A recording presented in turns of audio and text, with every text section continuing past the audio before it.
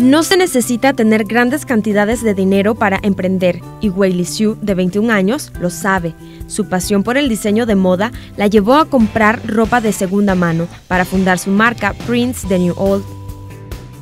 Yo siempre he vivido rodeada como de costura porque mi abuela eh, cosía y luego conocí el mundo pues de la ropa de segunda mano y empecé a hacer como arreglos a ropa porque se encuentran estampados súper únicos, originales y siempre me ha gustado la idea de, vestirme diferente o a mi estilo. Entonces al conocer esto de la ropa de segunda mano vi que pude modificar varias cosas y que podía emprender en, este negocio porque a muchas personas se me acercaban y me decían que dónde compraste tu ropa, que dónde la conseguí Wiley realiza bordados a cada prenda de vestir y le da un toque personalizado, transformando cada una de las piezas en algo único y diferente.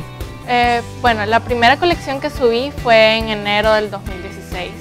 Más que nada los retos han sido saber cómo administrar mis tiempos siendo estudiante y teniendo mi negocio propio ya porque al estudiar arquitectura es, bastante, es una carrera un poco pesada, entonces administrar mi tiempo para mantenerme siempre constante, porque eso es súper importante en un negocio, ser muy, muy constante.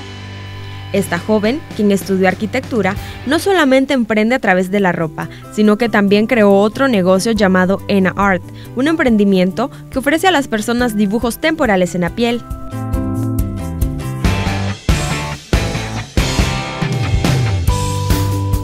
Elena era algo que siempre me había llamado la atención, pero más que nada como para llegar y que me hicieran uno.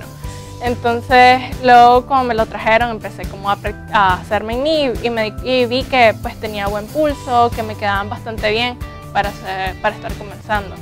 Entonces, al inicio fue rayarme a mí en todos lados, súper rayada, y luego fue como que, ala, podría ser un, un un servicio que podría ofrecer porque muchas personas me decían de que le gustaba bastante cómo me quedaban, que si hacía, si cobraba. Ella inició ambos negocios con su propio dinero y cada ganancia obtenida se convierte en una nueva inversión o capital. Realmente la inversión inicial no fue mucha porque mi, primera colección fue pequeña, entonces eh, ya luego modificando las cosas, pues con los precios, que a pesar de que son eh, precios bajos, sí, pues le gano aunque sea un poco y ya recogiendo, yo siempre invierto lo que gano, ya.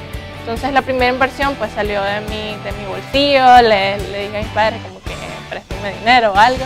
Prince, The New Old y Anna Art iniciaron como páginas en redes sociales, pero ahora cuentan con un pequeño espacio físico en la casa de su creadora. Este es apenas el comienzo para esta joven emprendedora, quien nunca se ha dejado vencer por el miedo, pues tiene claro hasta dónde quiere llevar ambos negocios. Elizabeth Reyes, Voz TV.